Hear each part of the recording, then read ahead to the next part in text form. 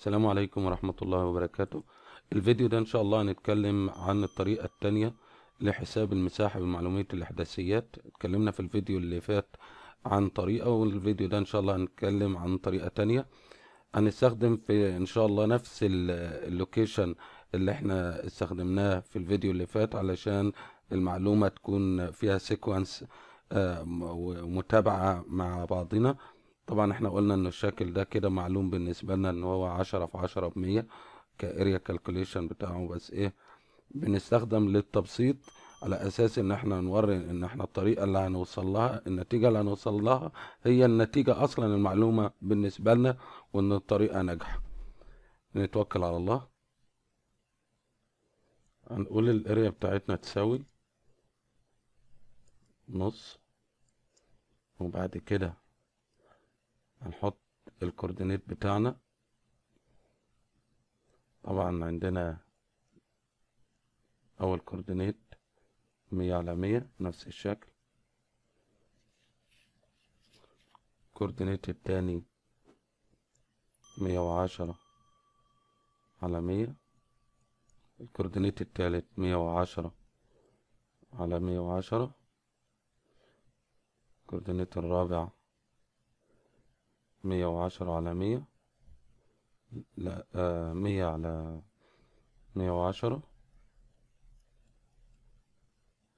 بعد كده هنرجع ندخل ال coordinate الأولاني اللي هو مية على مية.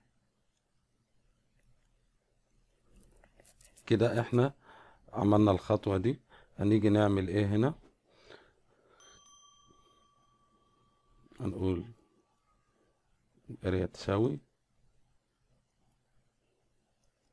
نص نفتح قوس كبير قوس صغير داخلي. نبدأ نعمل نفس الطريقة اللي في المرحلة الأولى. هنضرب ده في ده في ده في ده. وبعد كده نرجع. نضرب ده في ده في ده. تمام؟ نفس الطريقة.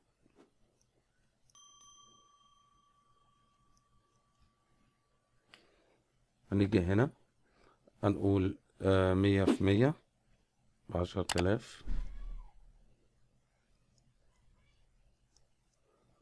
زائد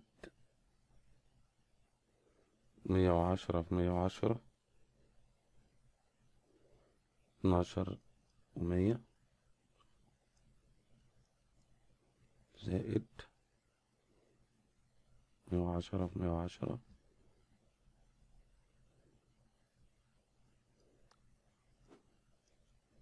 اتناشر ومية زائد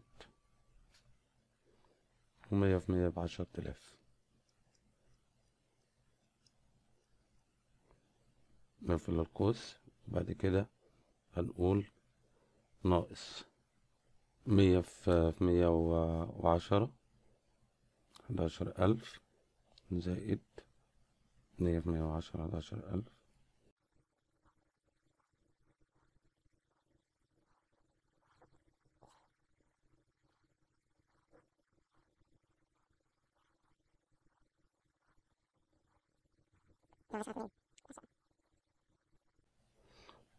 وبعد كده هنقفل ال... نقفل القوس. القوس الكبير. إيه تساوي؟ نص. مجموع ال- الإكسات المضروبة في ال- الوايات أربعة وأربعين ألف ومتين ناقص مجموع الوايات المضروبة المضروبة في الإكسات. أربعة وأربعين ألف.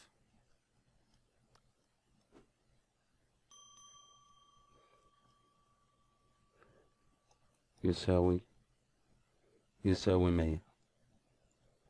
ودي مساحة ال area calculation بتاعت الشكل بتاعنا اللي هو عشرة في عشرة بمية.